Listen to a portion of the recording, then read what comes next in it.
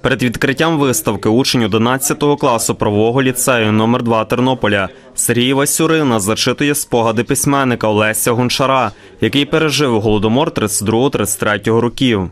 Це був справжній геноцид. Пів сухої винищено голодом за одну весну.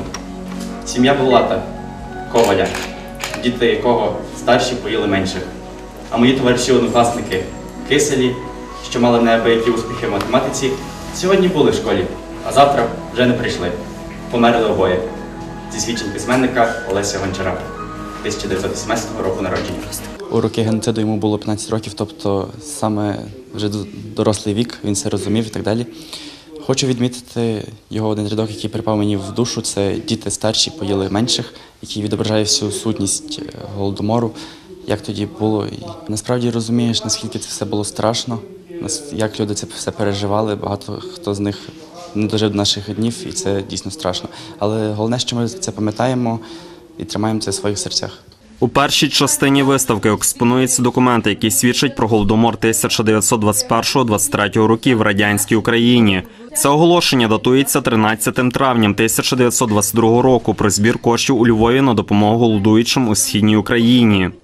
оскільки він не зачепив територію Тернопільщини, але в нас є такі документи. Це зокрема, це такі різні афіші про збір коштів на допомогу голодуючим в східній Україні.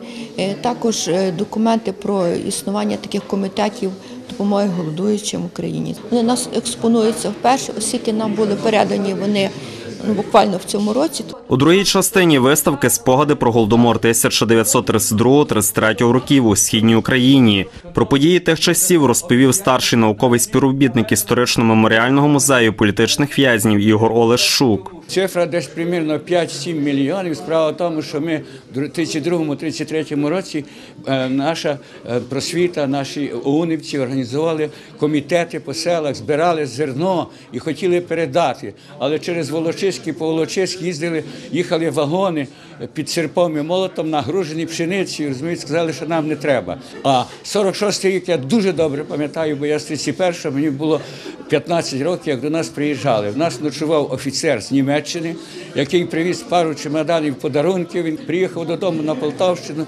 Люди, е, родина згибає. У третій частині виставки є документи про третій голодомор 1946-47 років, а саме постанови Підволочиського райвиконкому про розподіл талонів на хліб у жовтні та грудні 1946 року.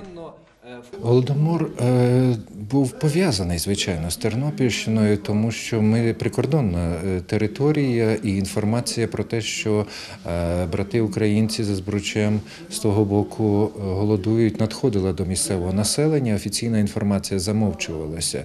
А місцеві жителі ночами переправляли через плоти, через річку, через збруч е, мішки, і були дуже часті випадки мішки з зерном. а Часті випадки, коли це розстрілювали або знищували.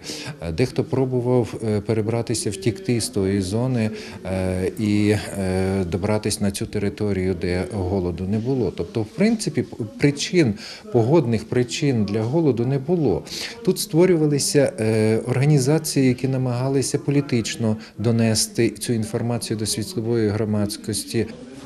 Після відкриття виставки учні Тернопільського правового ліцею номер 2 та студенти першого курсу історичного факультету педуніверситету запалили свічки та хвилиною мовчання вшанували жертву голодомору.